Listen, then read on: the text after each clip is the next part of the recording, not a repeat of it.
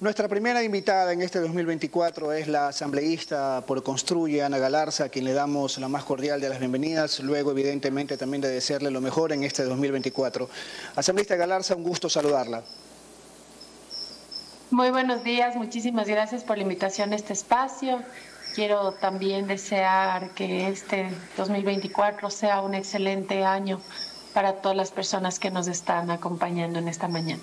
Debo entender que este 2024 como reto principal para la Asamblea debe ser el hecho de promover leyes que promuevan que promuevan precisamente el crecimiento, la recuperación económica y al mismo tiempo que puedan garantizar la seguridad que los ecuatorianos merecemos. Y en ese sentido sí me gustaría saber lo que hasta el momento han conseguido o han dejado de eh, tener en el periodo 2023.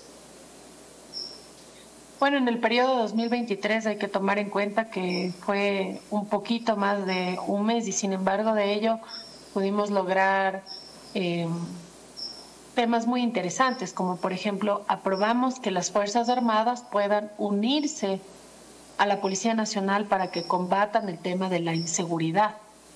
Eso lo hizo esta Asamblea Nacional prácticamente de manera unánime. Ahora solamente falta que el Ejecutivo pueda aplicar esta aprobación de la Asamblea Nacional y que podamos ver eh, las calles, sobre todo los sectores más peligrosos, militarizados militarizado en conjunto con la Policía Nacional. Recordemos, por ejemplo, que las Fuerzas Armadas son aquellas que controlan la tenencia y el control de las armas, entonces se entiende que si tenemos ya las Fuerzas Armadas con la aprobación de la Asamblea Nacional en las calles, las bandas delictivas no tendrían por qué estar armadas. Pero asambleísta, si fuera por un tema asambleísta, si fuera por un tema de leyes, el Ecuador estaría muy bien en todo sentido, pero lo que lo que más tenemos acá son marcos legales. Entonces no es un tema de leyes, es un tema que pasa también por la decisión y de repente también por construir un entorno adecuado que le permita al Ecuador combatir este tipo de problemas de manera más decidida.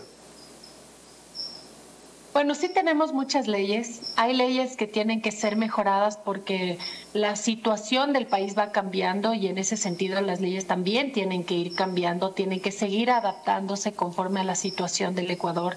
Hace 20 años atrás no vivíamos de esta situación de delincuencia organizada, de sicariato, de los vacunadores, por ejemplo, las famosas vacunas que básicamente son extorsiones se vienen dando desde hace unos años atrás. Entonces, sí tienen que ir cambiando las leyes, para eso son los proyectos reformatorios. Pero también coincido con usted que más allá de tener marcos normativos, necesitamos instituciones que las apliquen eh, correctamente, porque la Asamblea hace las leyes, pero las instituciones son aquellas que hacen los reglamentos.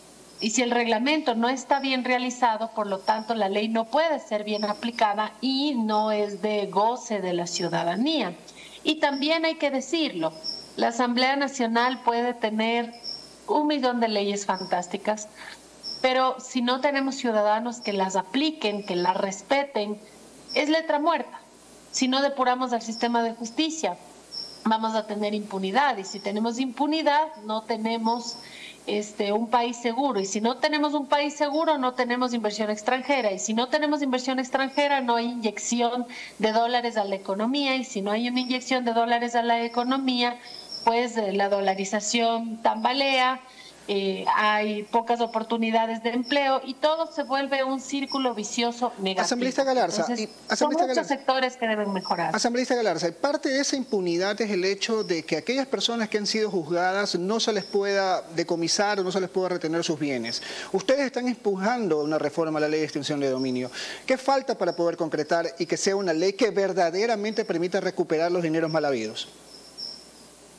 Tiene que realizar el procedimiento parlamentario, el Consejo de Administración de la legislatura eh, debería aprobar, debe enviar a la Comisión Permanente Especializada que trate el tema de la eh, modificación de la ley de extinción de dominio, porque actualmente sí existe una, pero realmente es una oda al testaferrismo. Entonces lo que nosotros queremos es evitar justamente que los bienes mal habidos, los recursos mal habidos sean trasladados. ¿Qué cambio impulsan ustedes con relación a la ley que está vigente? Que no se espere a que se llegue a una sentencia ejecutoriada, porque cuando se llega a una sentencia ejecutoriada ya ha pasado cerca de dos años, si no es un poco más. hasta llegar a última instancia. Y entonces en ese periodo de tiempo los bienes pudieron haber pasado por muchas manos y ya cuando se llega a una sentencia ejecutoriada ya no se pueden incautar esos bienes. ¿no? ¿Y la ley que proponen en qué instancia permitiría decomisar los bienes? En primera instancia. Y, eso y en el caso de que en última instancia la persona sea ratificada su estado de inocencia, evidentemente el Estado deberá devolver los bienes en las mismas condiciones que eh, los recibió al comienzo del proceso, ¿no? ¿Quién se hace cargo de eso? Porque hemos visto que en algunos casos se han decomisado bienes y al momento de tener que devolverlos ya prácticamente ese bien está completamente depreciado. También podría convertirse en una especie de cacería de brujas. Por eso es que hay que evitar que esta ley sea una herramienta de persecución en injusticia, ¿no? Porque la verdadera justicia es aquella que no admite inocentes perseguidos, pero tampoco culpables libres. Entonces, esta no es una ley para que sea utilizada como una herramienta de venganza, de destrucción a personas inocentes, no. Esta es una herramienta que nos permite dar un golpe a la delincuencia, ¿no es cierto? y que eh, tenemos que cambiar justamente el marco jurídico para que los bienes no sean dañados, no sean depreciados, no sean afectados, de tal manera que si es que en el caso de que se demuestre o se mantenga el estado de inocencia de la persona a la que se le retuvieron los bienes, se le devuelvan en las mismas condiciones. Y en el caso de que se rompa el estado de inocencia y que se determine la culpabilidad del procesado, ese bien que fue incautado, como ha sido bien cuidado, puede servir para el Estado, para ser vendido en un precio apropiado y que esos recursos sean utilizados por el Estado para lo verdaderamente necesario. Asambleísta, otro de los temas que ustedes han impulsado con mucha fuerza es la investigación que en la Asamblea se puede hacer con respecto al asesinato del ex candidato presidencial Fernando Villavicencio, figura indiscutible evidentemente de su movimiento político. ¿Qué acciones en concreto hasta ahora nos puede comentar que en la Asamblea Nacional se hayan ejecutado? Bueno, a mí me parece muy interesante su pregunta. La Asamblea Nacional tiene dos funciones, que es legislar y fiscalizar. En la primera parte, que es legislación, nosotros hemos aprobado siete leyes y reformas legales y reformas incluso constitucionales. Normalmente aprobar una ley toma seis meses. Nosotros hemos aprobado siete leyes en un mes. Eso quiere decir que cuando existe voluntad política, madurez política, la Asamblea Nacional sí puede brindar herramientas positivas a la ciudadanía para su desarrollo. En el segundo plano, que va en concordancia con su pregunta sobre la investigación de Fernando Villavicencio, que es la fiscalización, la Asamblea, el Pleno, aprobó de manera unánime que se cree una comisión ocasional que impulse la investigación del asesinato de Fernando Villavicencio, es decir, que fiscalice básicamente a Fiscalía General del Estado, incluso que pueda solicitar eh, o impulsar a que la Fiscalía pueda realizar ciertos impulsos dentro de la investigación. A mí me parece muy interesante que la Fiscalía eh, pueda eh, encontrar indicios sobre quiénes habrían sido los autores intelectuales del asesinato de Fernando Villavicencio en los chats de los celulares de Leandro Norero.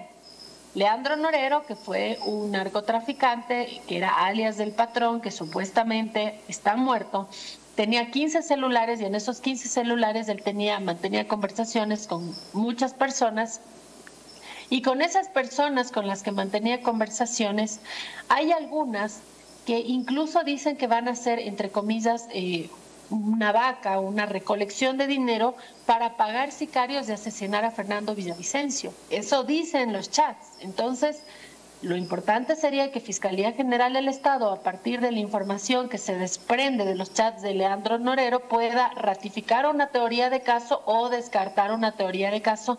Pero aquí lo importante es que no solamente el asesinato de Fernando Villavicencio eh, pueda darle la verdad al país, a sus familiares, sino que también no quede en impunidad. Porque ¿qué es lo que pasa? Casos tan importantes como estos se quedan en la impunidad y eso lo único que hace es fomentar los índices de sicariato en el país, porque lo que dicen los delincuentes es, el día de mañana contratas un sicario y la justicia nunca va a encontrar quién fue el responsable, entonces no pasa nada.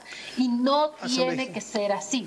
Se tiene que determinar la verdad y ojalá esa verdad llegue lo más pronto posible y se castigue con todo el peso de la ley a los culpables. Muchísimas gracias por haber compartido esta, la primera entrevista de, eh, del, programa de noticias de la mañana en este 2024, deseándole efectivamente de que este año al fin la Asamblea pueda estar a la altura de lo que el Ecuador necesita.